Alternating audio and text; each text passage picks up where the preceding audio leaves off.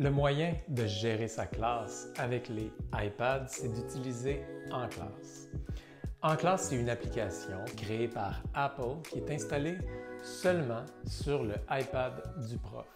Dans une flotte, il y a un iPad qui est dédié à l'utilisation de l'enseignant ou de l'enseignante. Et c'est sur cette application-là qu'on va créer ces classes, idéalement au début de l'année, et ensuite ces classes-là vont nous suivre tout le reste de l'année. Comment on fait? C'est assez simple. En arrivant sur l'application, on voit le bouton Créer une classe. Évidemment, c'est ce qu'il faut faire. Alors, je vais nommer ma classe. Par exemple, ici, je vais l'appeler 101. Ça peut être le nom que vous voulez. Ça n'a pas d'importance tant que vous vous retrouvez. Ensuite, il faut absolument sélectionner le lieu. Ici, votre école va apparaître et c'est ce qui va vous donner la liste des élèves de l'école.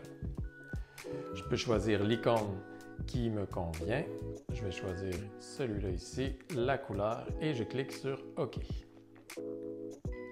La classe est créée, c'est tout simple. Mais en ce moment, aucun élève n'est dans ma classe. C'est un contenant sans élèves. Donc, je vais cliquer sur ma classe et c'est le même principe. J'ai un bouton Ajouter les élèves. C'est ce que je vais faire. Donc, comme je le disais, on a seulement deux élèves parce que je suis un CP, c'est des élèves test. Mais vous ici, vous verriez tous les élèves de votre école.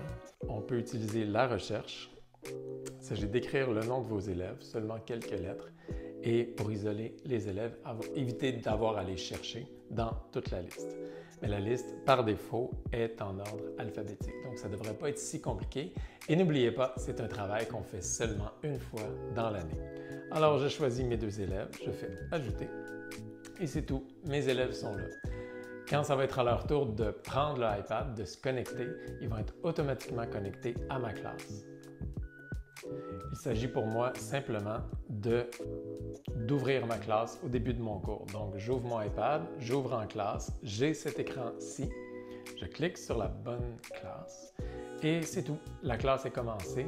À mesure que les élèves ouvrent leur iPad, ben, ils vont se connecter automatiquement sur euh, l'application en classe. Ils vont être connectés à mon appareil. Ça va me permettre de faire plein de choses, de leur envoyer des liens web, de leur ouvrir une application, de contrôler leurs écrans, leurs sons. Donc, euh, c'est quand même assez pratique comme outil de gestion de classe. Et une fois que la classe est terminée, je clique sur les trois petits points et je termine la classe. C'est la base de l'application en classe.